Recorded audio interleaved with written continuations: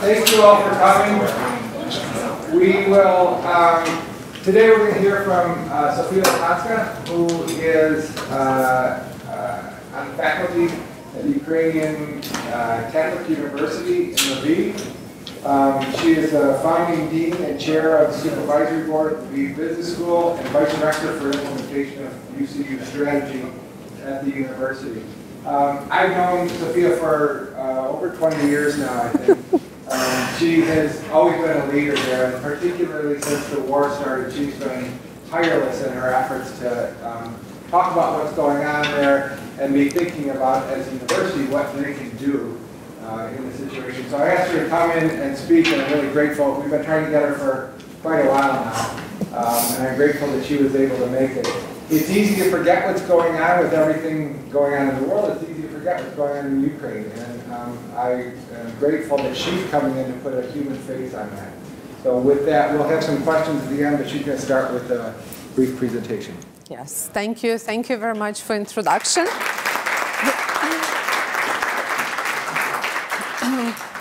so I will share a little bit in the beginning um, some of my thoughts, some of thoughts which we have in the university, some of our experience, and this is just to set the ground, and then we can have a Q&A session, and, um, and it can go in different directions. So for all Ukrainians, it's, it's about two years plus two weeks. And in a way, you can look at this time frame from different perspective because you can look at this as a very long time frame and very devastating one. But what helps us a lot when we think about that we are two years and two weeks closer to our victory. And that's the perception a lot of Ukrainians try to keep and uh, in their minds and try to uh, remember uh, but if we think seriously, it's not about two years. It's, okay. It's about 10 years. And um, uh, about 10 days ago, um, there were a lot of rallies, and we are very grateful uh, for all of them all over the world. So I found that um, rallies took place in 746 cities across 69 countries, and that's a great support for us, and we are very uh, thankful. And I know there are probably people who participated from this room in such rallies, so please keep doing that. That's important, and we uh, truly appreciate that because sometimes you could you could really feel that you are left alone. So yes, this is about 10 years, and I think. Um, I think if we don't want to continue for another 10 years, it's it's a little bit that all of us have to do something, and I will talk about that in the end of my conversation, in, in, the end of the, uh, the speech. Um, the experience of war is overwhelming. It's bigger than anyone could possibly process in his or her own, on, on his or, or her own. Uh, when full-scale war broke out, students of UCU were shocked and lost. Uh, some of them were terrified and cried. Too much chaos in human life is unbearable. So you can see on that pictures, they are, in the, they are having classes in the shelters. So this is how often classes happen now.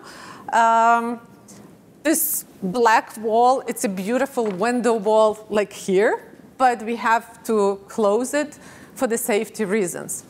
And my presentation will be accompanied by sketches of uh, one of our colleagues, Uliana Krychovets. Uh, she is a young uh, artist. Uh, she indeed works in the development department. So we have, uh, uh, in development de department, we have such very talented people. And over first year of war, she was doing different sketches to different events. And um, they, they show um, very nice, they show in very, I would say, natural way what we are going from. Um, so, so the Russian war is not a war for resources because Russia has a lot of resources. It's not the war for capturing the cities because when they come to the cities, there is nothing already there. They are fully destroyed. French political analyst Nicolas Tenzer believes that Putin seeks no positive goal that we can envision. It's a war of destruction and new barbarism in the 21st century. And I would like to quote Putinism's primary adversary is the law, especially international law. Putinism is unique in that it does not aim to construct an alternative order. Rather, it seeks the systemic destruction of any order. Unquote. Putin does not believe in people's agency. Being an authoritarian leader, he believes that ordinary people are manipulated into actions and are not subjects of their own agency. And I think that we Ukrainians prove him to be wrong. Putin in this war is not just targeting our present, he's targeting our future. Thousands of children from occupied territories were, um, were, were taken illegally, like everything Russia is doing these days, to Russia. So you can see that to return all of them, if we had one child per day, it would take us 55 years. And, and that's only those children we know on the list, because probably we don't know about all of them. More than 2 million of our children have gone abroad to escape. Russian missile attacks Ukrainian schools, hospitals, cultural heritage, and religious institutions. If you go to the website saveschools.in.ua, you can go through the uh, QR code, you will see how number of institutions which are damaged and totally destroyed is going up all the time. So I remember I had a speech in Boston um, in summer 2022, and the numbers were about uh, less than half of that, and it's going up and up all the time. Uh, losses in education are huge, both in hard but also soft infrastructure. In the last attacks on Lviv, which is 70 kilometers from the border with Poland, which means NATO, five educational institutions were damaged, two schools and three kindergartens. You can see on that left, uh, left um, picture one of the private schools. Um, their team did extraordinary efforts so that on the next day, kids from that school got back and continued studies. School is something very much cherished Ukra by Ukrainian children. Maybe because it can be taken one day away, or maybe because more than a million children in Ukraine are studying completely online because the enemy is attacking the frontline regions. Amid this full-scale invasion, we see remarkable things the banking sector is well and alive, and I can transfer money uh, only during the air raid and pay my bills or donate. Trains are running and are coming on time. Um, business is busy, and schools and universities are teaching. Recently, one graduate of our executive MBA program shared with me that the role of Ukrainian business now, additionally to running the economy, is also to help people being busy and productive, have a, routine of going every day to work and do something meaningful. So woman on this slide um, below, she, her name is Olga Krivchenko. She's our graduate of Executive MBA of 2023, meaning she started her education when we still had COVID, and she finished her education, her executive MBA when war was there. She lives in Kharkiv. She is owner of IT company, which is still based in Kharkiv partially. She's very open about that, and she is telling to all of her clients that they are working from Kharkiv. And that's very important for her because she is saying, if I leave Kharkiv with my husband, but they actually left but came back very quickly back, she says, if we leave, who will stay in that city? That's very important for us young people to stay there. Her offices, she has two offices which were already damaged, but she keeps doing that. Um, the company on the right, Enzym, it's a company uh, which produces yeast, uh, which is very important for production of bread. Uh, it is based in Lviv, uh, which makes it easier a bit. Um, in, they had a lot of business um, before 2014 in Russia. And the market in, in Russia was growing very quickly for them. Um, it's a family company, except for that factory, they also have production of pet food. And again, the market for pet food in Russia was growing very quickly. But in 2014, Then this girl from the first picture was nine. They decided they're not going to do any business in Russia anymore because they annexed Crimea and because they invaded Donetsk and Luhansk region in Ukraine. So they changed the strategy completely. And um, over last 10 years, they moved to a lot of uh, European markets. Uh, they are selling in more than 20 countries. And before the war, they started to build a plant. And um, in February 2022, the plant was like uh, biotech, actually. They're moving, they're doing transition to biotech company. And the plant was about five to six months not finished. So when full-scale invasion started, they stopped construction for two week, weeks. And then they continued and they started the plant, they started the factory. Um, they have a great team. Um, and uh, they had to start all the operation because when you have a factory, usually you buy some production lines and um, uh, the company which is supplying the production line, they have to start it. But nobody was ready to come from international experts, from their partners, suppliers, to start the line. So they had to start the line on themselves. Um, so I'm trying to give you an example, give you examples of people doing really extraordinary things, because if you think about would you invest in Ukraine right now? We often hear when the war is over. But I would like to show to you that Ukrainians are still investing in Ukraine uh, because we believe in that country. Um, so for us as the university, it was very important from the very start of war to bring back sense of control and um, our lives of our students. And yes, you cannot stop the war, but you can contribute to the victory. That's what we were saying to our students. You can work so that each day brings victory one day closer. Uh, designing and keeping this daily schedule becomes a way of regaining some agency for us. Our students engaged in various volunteering activities from humanitarian relief provision for internally displaced people to tracking the damage of cultural heritage to fighting Russia's disinformation war. We also transformed our curriculum to make it more meaningful because you cannot talk about theoretical things in the classroom and then students go out and they see war, destruction, and people thinking about totally different things. So we brought a lot of uh, service learning projects into our curriculum. In summer 2022, we have asked all of our faculty to revise the program, to revise their courses, and to make them um, relevant to the context in which we live. There is a clear sense of ownership um, of the country among, among, Ukrainians, and we could say that uh, the whole nation rose united in solidarity uh, for defending the country. A community of UCU has more than 100 people at the front line serving for Ukrainian armed forces. Those would be our students, alumni, uh, family members. I show you, since we are in the business school, those are business school graduate students. Not all of them are on this picture, but um, at least some of them.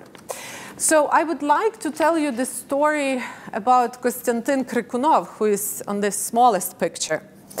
Uh, he worked uh, for many years for the biggest Ukrainian IT company, SoftServe. And um, because he worked very loyal, he was very loyal to the company. He held positions of uh, project manager for more than 10 years. He's graduate of our technology management program. Um, company agreed to give him sabbatical for half a year. So he had the ticket to Bali. And his plane was about to leave on February 24, 2022. Instead of being on sabbatical at Bali, Kostya is fighting at the places which you know from the newspaper, like Bakhmut. He had spent there about, um, I think, more than half a year. And there is a number of documentaries where he was explaining how they are doing that. And um, as you can imagine, his neither his education or job experience was preparing him for that. Um, some people on this slide are owners of their companies, are owner, they started their companies. And now, while they're in the armed forces, companies are still running. So they had, they have built, built enough of trust with their teams that their teams are running the companies now. Um, small post-Soviet army cannot win against the big post-Soviet army. We need asymmetric moves, and a big number of business owners, top managers, middle managers bring not only their knowledge of technologies, logistics, leadership skills, but also their social capital to the army. They connect easily with other graduates of university or business schools or other business schools. So we are not competitors in this matter anymore. On various innovative projects, and we have many examples of such. Uh, what's important that that's bottom-up initiatives, including innovations, are very natural for freely minded Ukrainians, and that's what makes us very different from top-down Russia and Russian people. Bottom-up initiatives saved Ukraine in February, March 2022. The volunteer movement was and is spectacular. People crowd-funded resources for everything, food, clothes, tactical medicine, defense equipment, for everything. I can tell you amazing stories about any of these men. We actually have a lot, we have women from university who are also serving now. They are just not on this slide. so all of these men, they are from different regions, different parts of Ukraine. Some of them didn't speak Russian, in, uh, didn't speak Ukrainian. They spoke Russian in everyday life before 2022 but they are an example of courage and commitment to their country. And I would like to give you, um, again, through QR code, so you can see Kostya here much better. you can see his face.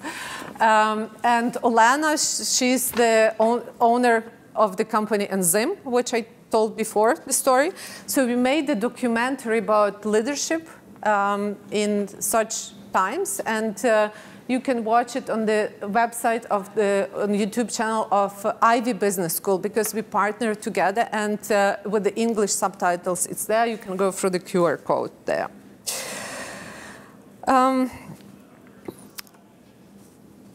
couple of more things which are not related to business but also very important for us.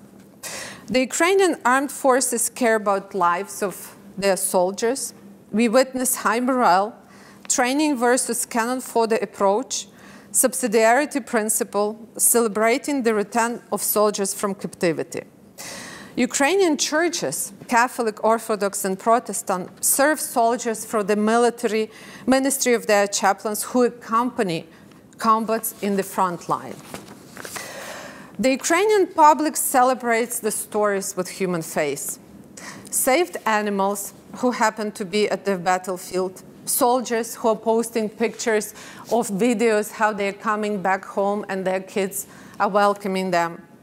So humor and fun stories, they also play some therapeutical role for us. There is a huge, I would say, um, growth in different posters, different uh, images, and they're, they're very viral in Ukraine right now.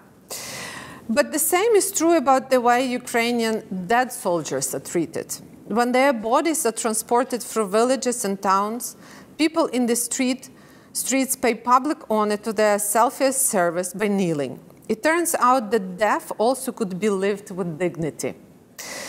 Any war is a defeat in humanity.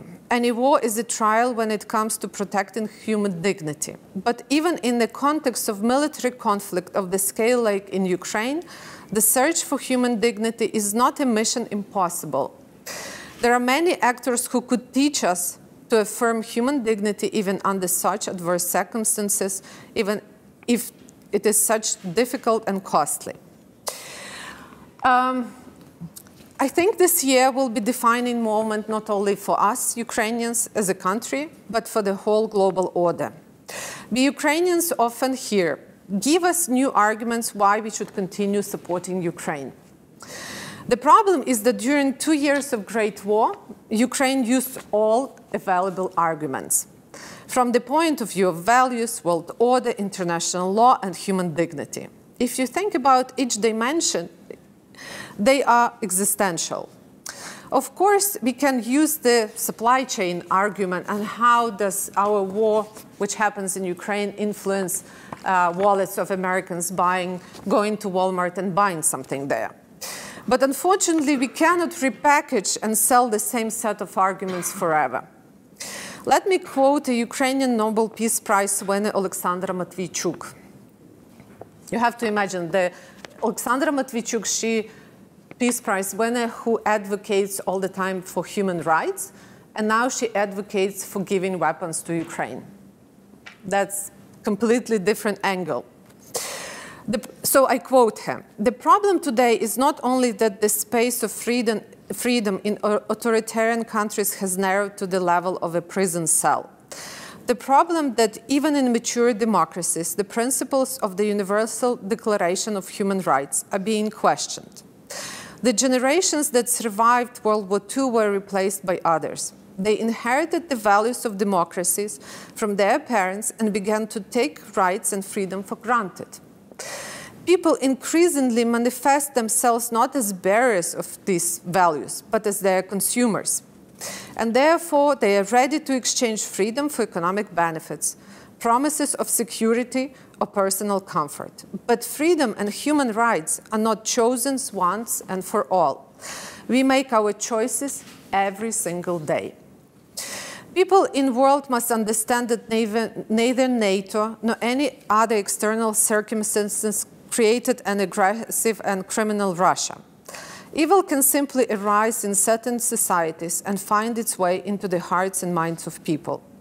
Such evil will not become good if we try to pacify it through appeasement, negotiations, and market transactions.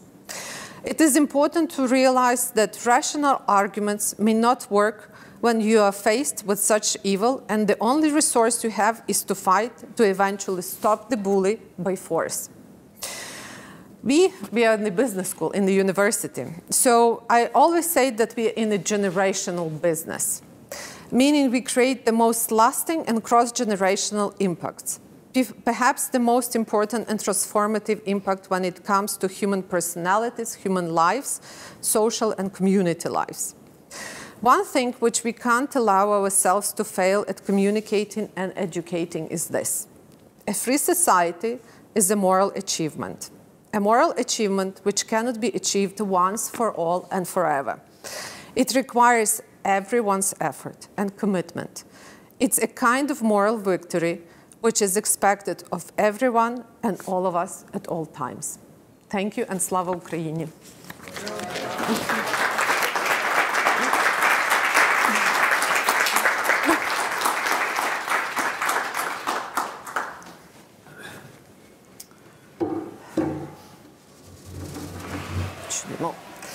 Okay, maybe I will change the slide.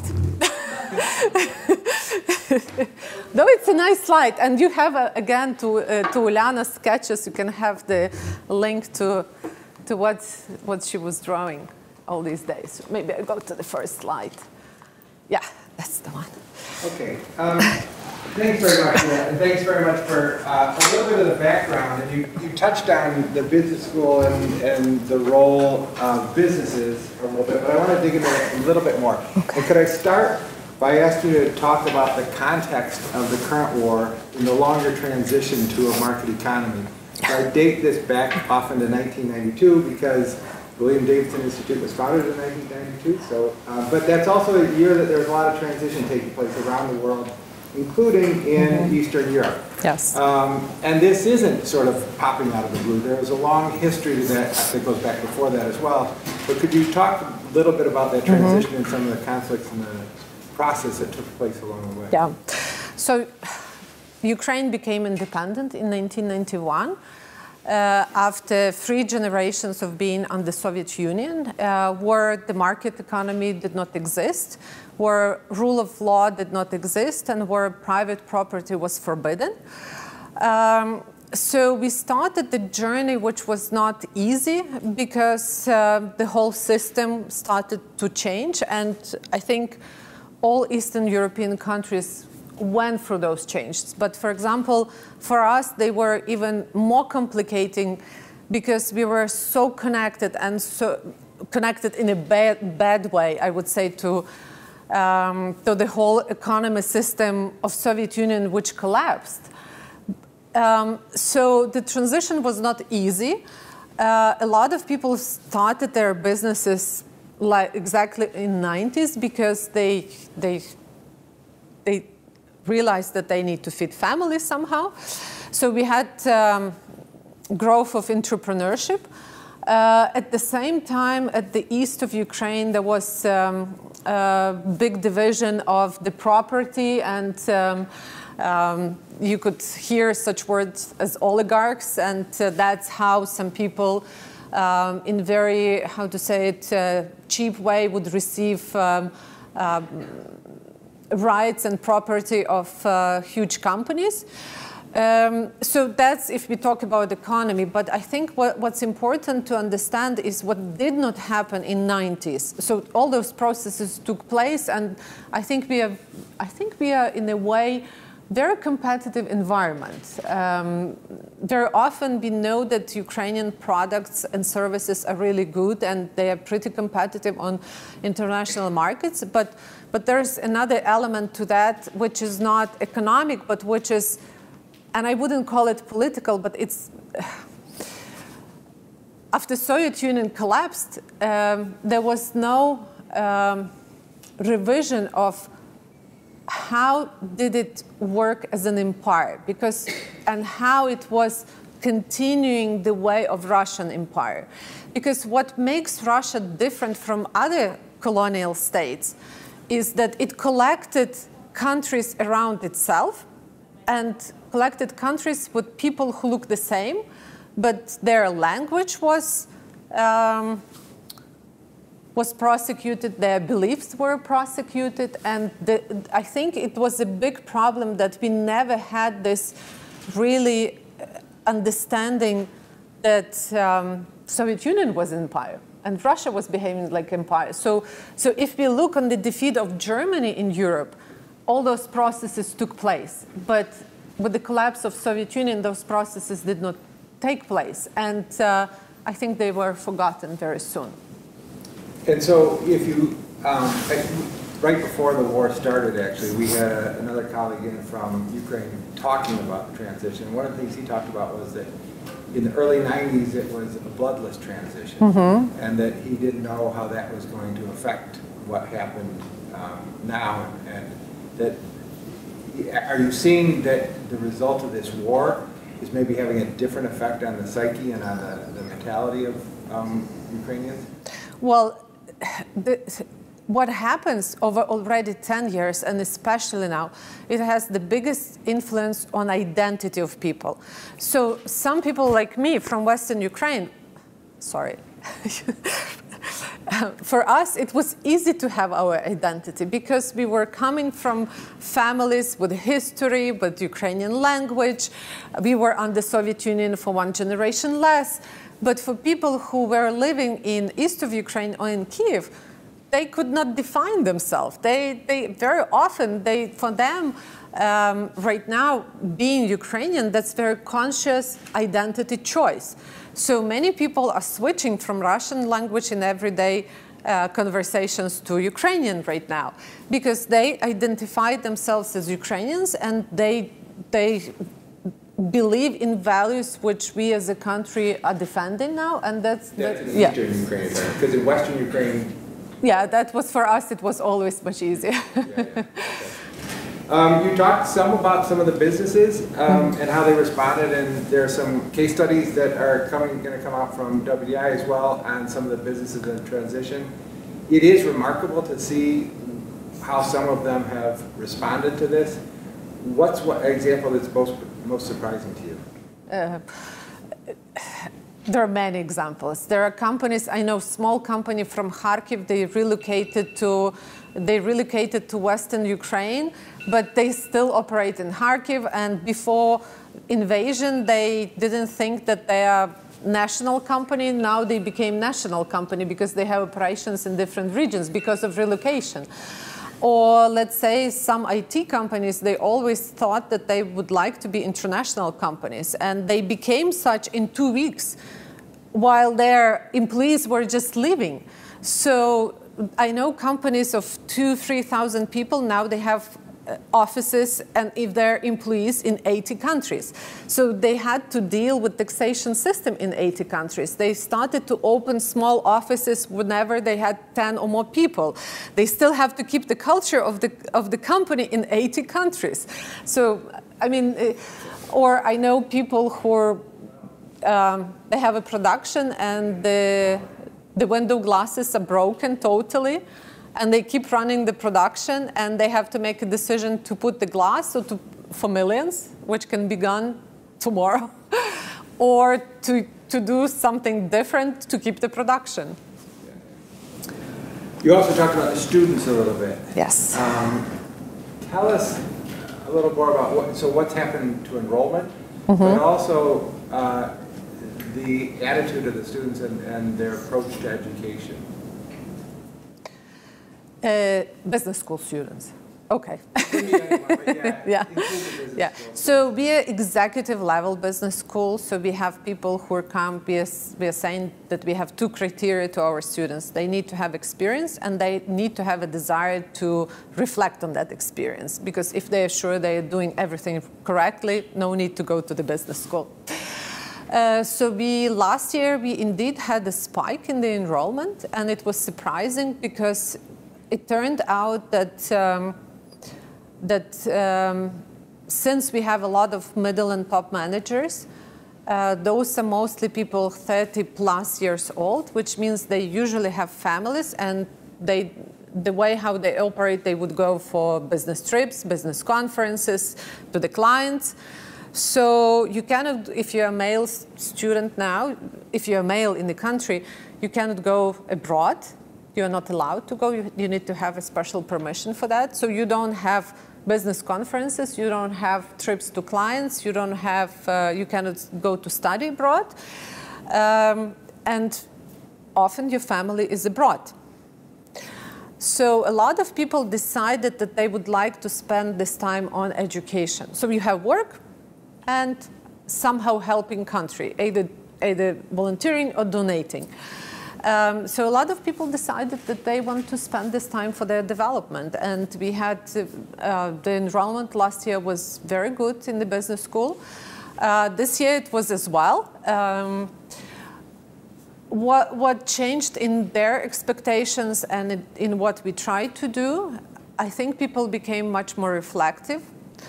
Um, for them, it's not, it's not just important to have formulas and uh, spreadsheets and case studies and understand how business can become better. I think people are looking now answers for very deep questions, so including um, they want to know more about history of the country to understand. Uh, they want to know much more how they can build, build companies with a human face. So how human being is in the center of their businesses. So I think in that way, um, we are doing a lot of uh, a lot of work in the curriculum at the um, so intersection. Yes, yes, yes, yes, yes. Okay. And cases, we, we changed a lot of cases. We do a lot of live cases. So we visit, we visited with our executive MBA's business of, of one of one of them, and it was under occupation and in a couple of, it's agricultural business, and now they are delivering trucks to many European countries. So, and in terms of the education changing and being more holistic, as you're describing it, do you think that's going to be a permanent change? Or were you moving hmm. that direction anyhow, or is that something that is, yeah. when the war is done?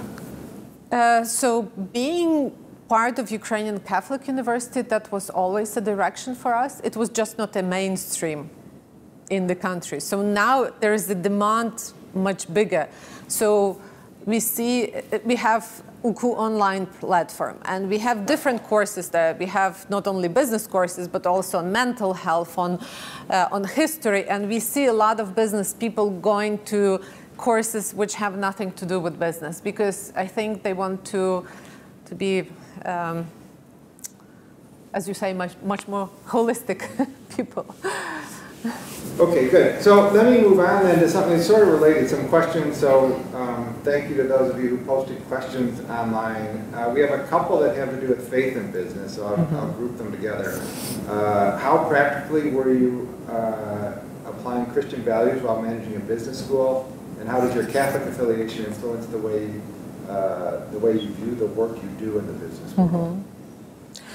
Yeah, so I think for us as the university, human being has always been in the center, and that was the whole wor- word of community. is very, it's something what you would hear from every graduate of the university and of the business school. Um, when we started in wonderful 2008, I, assume you remember what happened in 2008. That was the wonderful year to start business school because two lines in the budgets of the companies, which were deleted immediately, was marketing and education. So we survived 2008, and um, but but why I say that is that we are the only Catholic university in Ukraine, and even on much bigger territory of uh, post-Soviet Union. Um, so for the first five years, I was always explaining how come business school can be a part of the Ukrainian Catholic University. And you also have to know that church was prosecuted in Soviet times. So um, for us, a lot of people from church who, they, who kept their faith over decades, they're a great example of leadership as well. Um, so after five years of explaining how come business could be in the Catholic university, I think we found this society started to understand that that probably this business school again is a bit a bit more than just instruments. Because if we talk to our students and graduates they come for the instruments. They want their business to be much better every monday after they have been to school on friday you know. That's that's how it works. We all want to to, to make it much better fast quickly but I think over the process and time of studying and being with us, they start to value much more very intangible things, like relations, like um, like how do I treat my employees? And that's also was a big thing in the beginning of full-scale invasion because you have to to realize that some companies had employees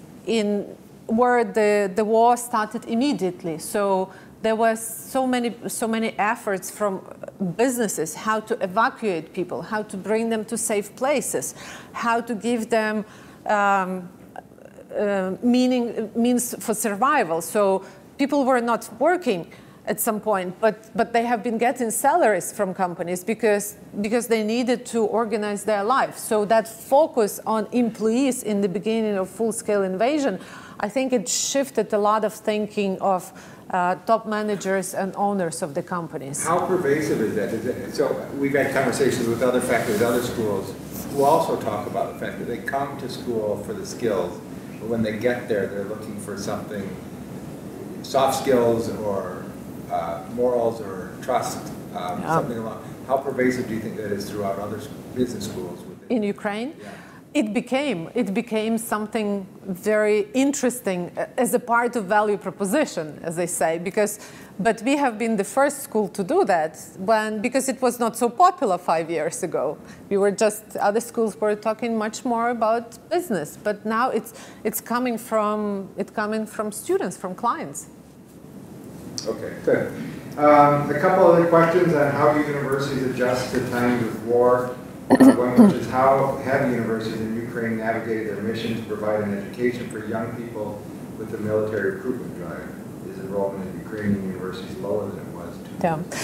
So the whole overall enrollment is lower, like 25 to 30 percent of all over like the, the whole country.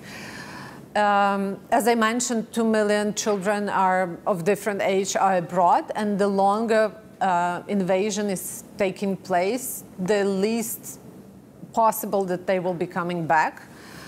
Uh, though there are cases when young people said, no, I would like to come back and study in Ukraine. Um, again, the, the, there is a matter for young uh, men because if they start university in Ukraine, they, after being 18 years old, they won't leave the country, which limits their opportunities for mobility, for international experience. They, they are in the country. So we are doing different, um, different formats how to bring this international experience virtually to them. Um, it's a big difference how to do business or operate educational institution in east of Ukraine where you have the battlefield close and on west of Ukraine. Obviously we adjusted as much as possible and for us it's very important to have students on campus. So like we are in this room, we have all classes in, um, on campus. Um, we, we made campus as safe as possible, which means all underground rooms are being used as the classrooms. Whenever we have an air raid, we go, uh, but this room would be shared by four faculty members in different corners probably, because there is not enough space for everyone. So I also say that uh, when the air alarm is on, people from the park are coming or from the streets. They come also to the university, to, to the downstairs, to the basement. So they can join for free, you know, some classes and can participate in the discussion. And um, I mean, in a way, it's, it sounds funny, but sometimes we think maybe we can do more this way, you know, engage people. So you remember, Paul, because you have been on our campus, we have tax department close to the university. So we are joking that maybe we are doing extra efforts to educate people who are uh, working in the tax department as well now. no, that theme I've heard for companies too, that they, in some sense, started doing more because of the war. They've seen, um, they've opened up in different things that they weren't anticipating. Yeah, so, so in a way, education, it's not just about education now. We got a lot of corporate uh, programs, and I think for companies, it's about well-being of their employees. Because if you think, if employees go to executive education program for a couple of days, they are in normal setting with less air raids in the west of Ukraine than on the east. They can um, talk to other people.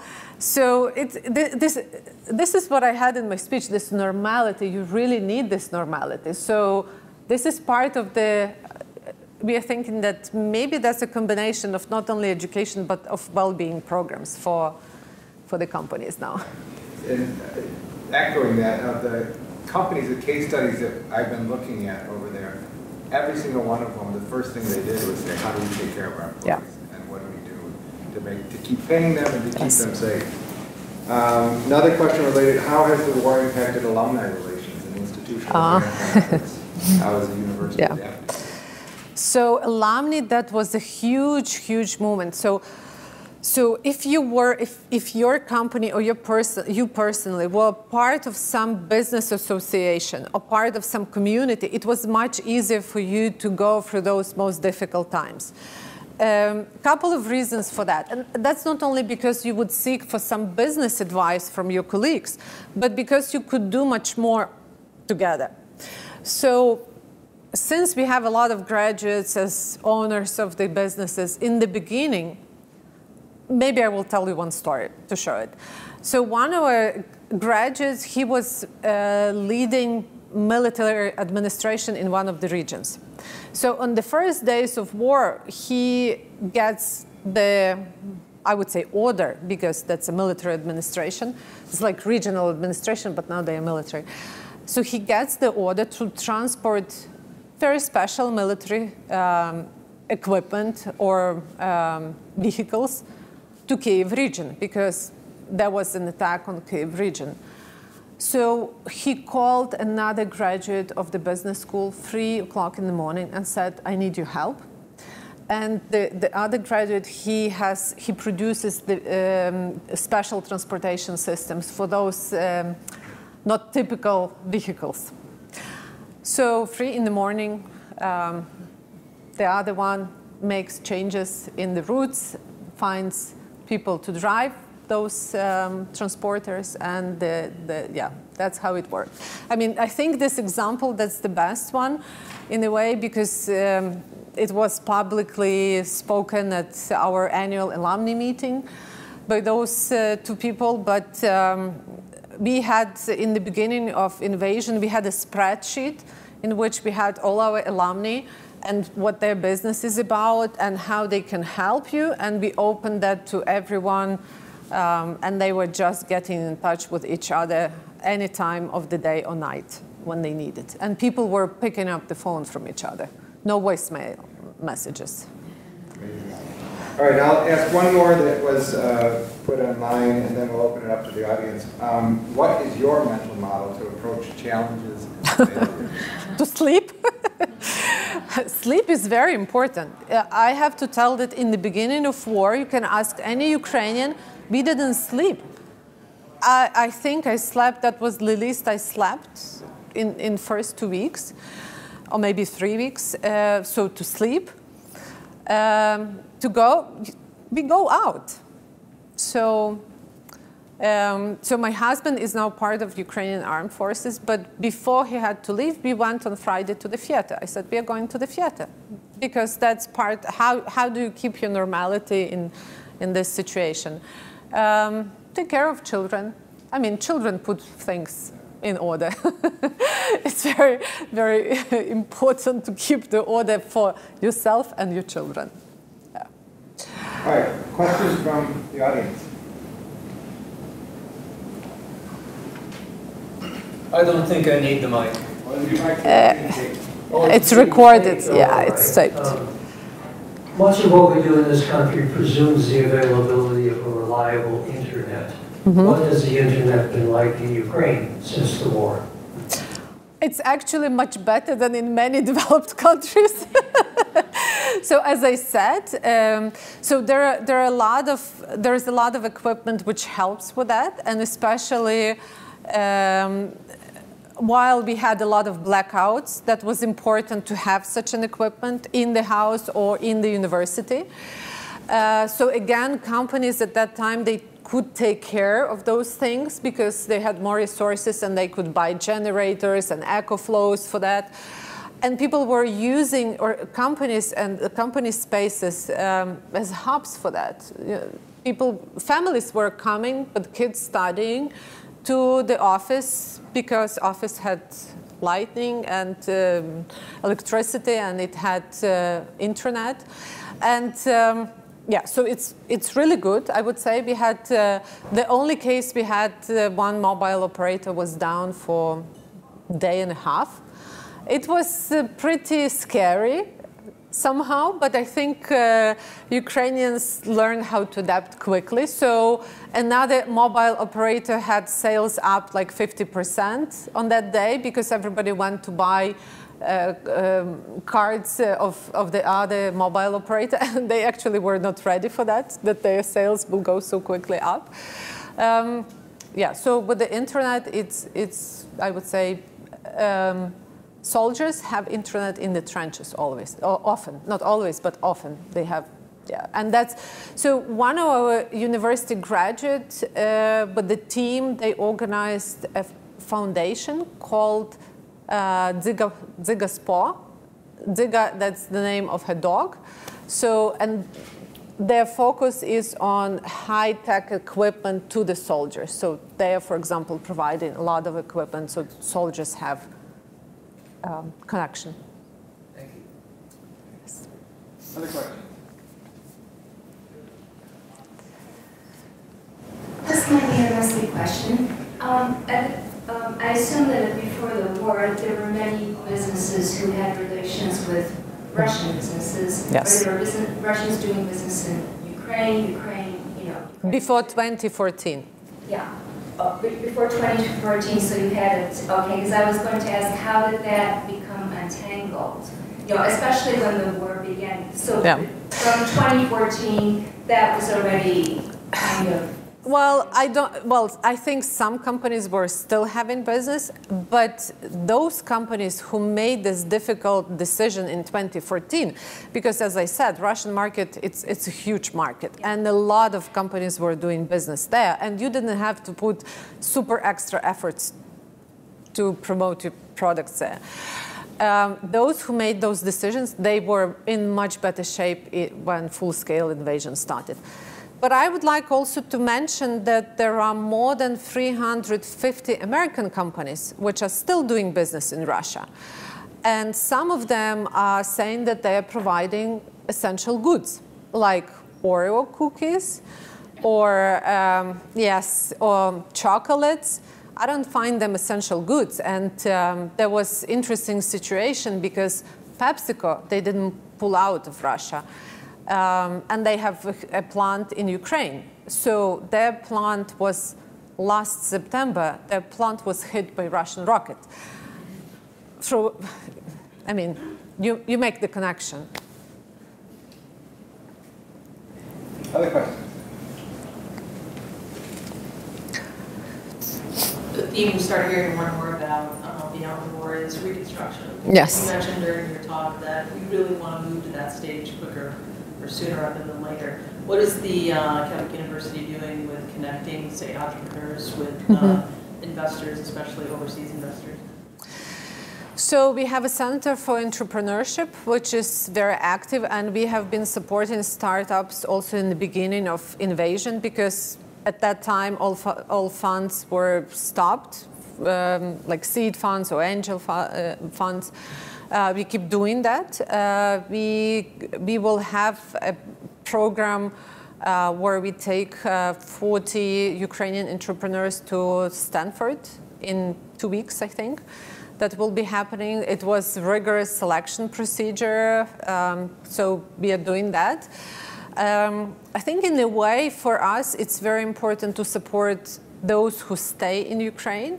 And you're right. I think uh, if I spoke to you a year ago, my talk would be much more about uh, reconstruction and plans for reconstruction, but I think we're a little bit cautious now about that because though fast recovery and reconstruction already taking place, like companies are rebuilding what they are losing, or um, some companies are expanding, and not only Ukrainian companies. Just to give you an example, there's a Danish company, Jysk. Uh, they are similar to IKEA, to Swedish IKEA. So they had in Ukraine 60 stores before full-scale invasion. I think they have 80 stores now. So, so companies are growing. But still, with the situation at the front line and with the support, which is delayed for Ukraine, um, we are much more cautious about that now. So, and we also understand that probably it will take longer than we expected in the beginning, and um, we need to learn how to operate, how business can operate in this very challenging mode of not knowing when when is the end in sight. That's very difficult because if you think that's what makes um, this type of crisis different from any natural disaster type of crisis. Because if hurricane happens, yes, it's devastating, but you turn the page and you can move on. Here, we don't see the end at sight. So we have to learn how to operate in this Markets don't like uncertainty. yeah. Yes, but but that's our reality, and uh, I think we learned how to do it. So whenever you your company will be operating in very uncertain environment, you can invite Ukrainians on the board, and they can be very instrumental there. I think that's one of the things that's most remarkable, because as you said, it's, the end is uncertain, the environment is Yeah. uncertain, and yet you see not only Ukrainian companies, but other companies continuing to operate, and in some cases really thriving and doing very well. There's a, a story of a Nova Poshta, Yeah. uh, the FedEx of, of Ukraine, that many of their customers had moved outside of Ukraine, and so they started operating outside of Ukraine, which is which they weren't planning to do and they weren't doing before. Um, but that kind of can do and going to keep operating. The ability to operate in an uncertain environment um, puts them in a good position uh. Yeah, so, so some companies moved where their customers moved, some companies moved where their employees moved. Um, well, I can say that we love McDonald's now because McDonald's pulled out of Russia very quickly. They did it in proper way. They, they, they, they were not telling the stories that they are pulling out and not doing that. Um, they closed their um, restaurants for some time and they reopened very quickly and they have been using the restaurants for also humanitarian support and they reopened and uh, that's an example of the company which uh, which is we appreciate so we truly appreciate who is with us right now and I think we will be very loyal as customers and nation to those who are with us right now. Let, is there any other question out there? I, I read a headline, I believe it said that Ukraine is more self-sufficient with energy supply Yes. than in previous years. Can you talk a little bit about that? It seems like there are less power outages even after missiles hit power stations. Yeah, it's. I'm not very much expert in that, so I cannot comment uh, much. But I saw also that we we, we went through this winter much better.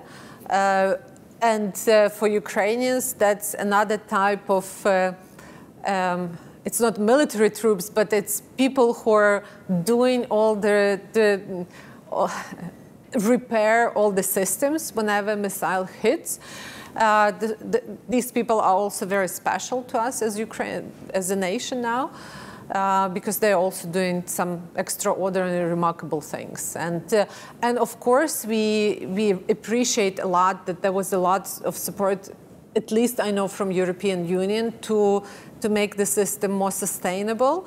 Uh, last summer, a lot of things were done in the infrastructure uh, to keep it running over winter. And, and I think we also, though the situation might look a little bit, how to say, disappointing, that we didn't move so much on the land, I think we did a lot of work in the sea, in Black Sea, and it makes our life easier now because the strikes are not so often. They are, we have less of them. They are not, I mean, it, it's already a lot, um, though we don't consider, nobody considers that as a, as a battlefield, but it is as well. Let me finish with uh, one of the other questions uh, that I'll sort of combine here. What's the best way to engage with your university, with people in Ukraine from universities on this side? Well, there are many ways how you can engage. Uh, well, for example, you can you can call your senators, Congress people. You can write to them and say that, um, well, that we as a nation, we continue to need your support, and that's very. Um, I would say that's very urgent topic. Um, because time is running, and uh, we are we are running out of um, of this of this support, and uh, we cannot we cannot fight with empty-handed in 21st century. That's not 16th century or, yeah.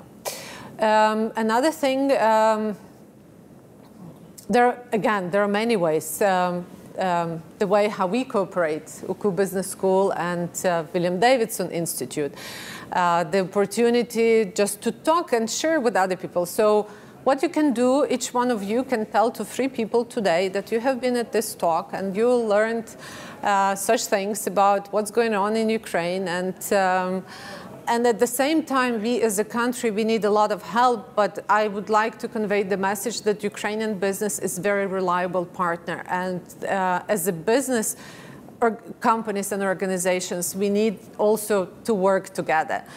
Um, and um, I think there is a way not only to support us, but the way to learn from us. Because again, a lot of innovation is happening, uh, mostly now in the military, but which can be taken then to civilian life. And I'm sure that it can be, it is very well tested at the, at the battlefield now, but it can be taken later uh, to medicine, to agriculture, this whole drone movement, which, which is right now in Ukraine. Um, I think there can be a lot of, um, it might sound strange, but for in, even in such devastating situation, we are trying to see opportunities. So, so there are a lot of opportunities, and those who will move faster than when then the war is over will have better chances to, yeah. Yeah, and I think, um, I mean, you talked at the beginning about the transition and the long transition to the market economy. And it seems like um, there's been a lot of soft transition that's taken place. Yes. Even though if you look at some of the GDP numbers, you don't see that much growth over the past 30 years.